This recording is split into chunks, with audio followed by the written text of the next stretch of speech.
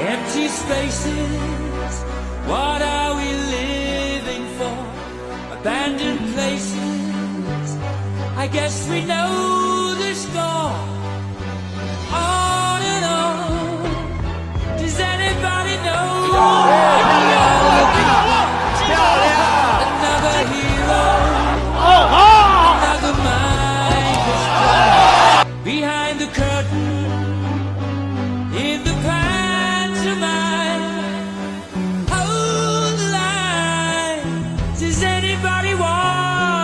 take it anymore.